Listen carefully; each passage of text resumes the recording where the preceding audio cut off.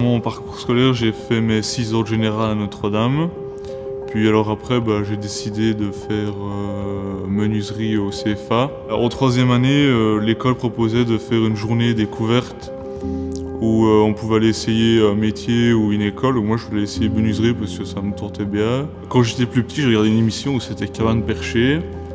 Et je me dis, plus tard, je serais vraiment content de pouvoir faire ça. Alors, bah, ce qui me motive d'aller travailler le matin, c'est le fait d'apprendre, de savoir comment sont faites certaines choses pouvoir les refaire par la suite soi-même. Et un travail que j'ai fait, c'était un petit porte-essuie en chaîne avec des coupes à 45 degrés. Enfin, c'est satisfaisant de dire que bah, tu l'as bien fait, que ton patron te dise que c'est bien fait. En étant au, CFA, j'ai une rémunération. En première année, c'est 270, puis l'année d'après, c'est 390, et l'année d'après, c'est 500. Quand je repasse devant des... Euh, des endroits ou des choses que j'ai fait, bah, tu as un sentiment de satisfaction.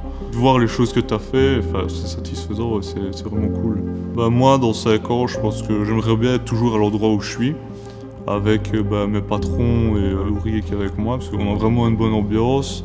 C'est une petite équipe, donc c'est vraiment sympa. Pour trouver du travail, quand on sort euh, d'une section dans le bâtiment, si c'est quelqu'un qui a envie, qui a envie d'apprendre, de continuer, il trouvera sans problème du travail.